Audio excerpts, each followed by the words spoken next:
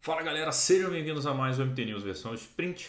Essa semana a gente teria o MT News normal, mas o Fredão ficou com problema de agenda, então voltei para vocês aqui com a versão Sprint. Semana que vem a gente volta com a programação normal. Então falando para vocês aqui do lançamento do Mundo Tri, a nova camiseta do Mundo Tri, então o link das lojas do, da loja do Mundo Tri tá na bio e também no, no destaque do MT Descontos, beleza?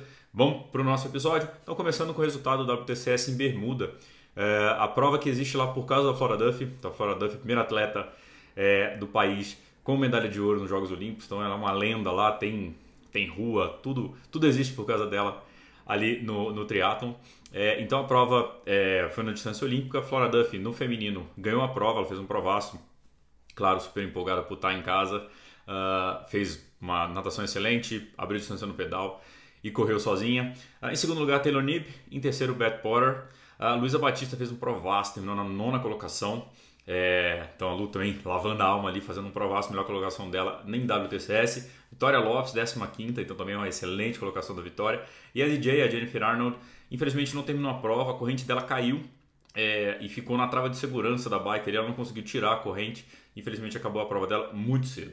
No masculino, o retorno de Vincent Nui, depois de um ano complicado de lesão, teve problema cardíaco, ele está de volta, ganhou a prova no masculino com Antônio Serra em segundo e Roberto Sanches em terceiro, dois espanhóis aí, então mais uma safra espanhola bem forte aí na distância olímpica.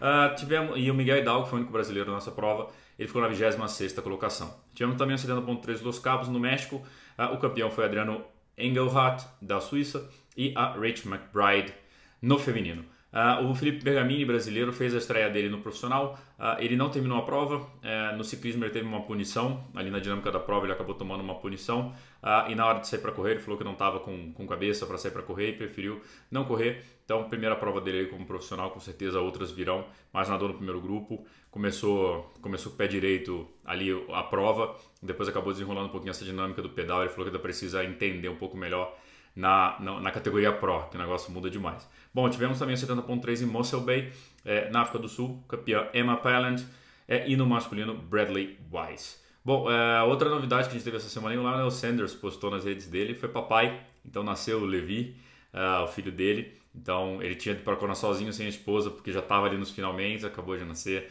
então tá super feliz. Agora vamos ver o que, que o Lionel Sanders traz na versão papai dele, né?